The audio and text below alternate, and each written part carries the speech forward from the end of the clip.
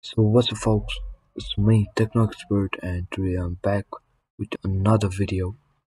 So in this video I'm gonna tell you all how to block ads on YouTube. So if you are not a YouTube premium user, you'll definitely be seeing ads while using YouTube. So in order to remove it you can follow these steps. I know that you can use an ad blocker but you know in browser I'm just showing the process. So let's get started. So this for Microsoft Edge only and it will work on any version of Windows. So right now I'm on Windows 11 but even if it is Windows 10 it will work on Windows 10 as well. So first of all open a new tab click on these three dots and you can see an option extensions. Click on it. You can open Microsoft Edge add-ons and search for ad blocker YouTube and search enter. And so the ad blocker that I have right now is the third one.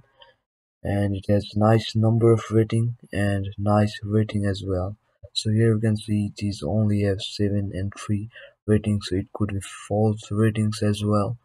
So you should not trust these. Rather you should trust these the ones with more reviews. So it has somewhat nice rating.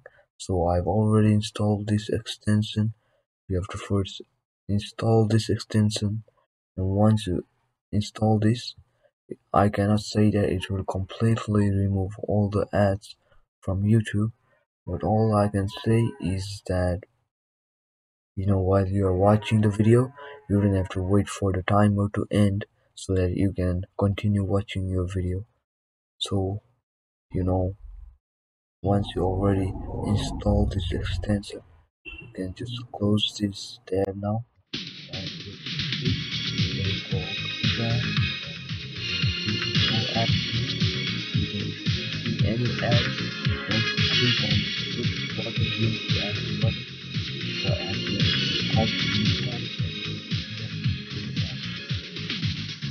how you disable ads on YouTube on PC for Microsoft Edge browser.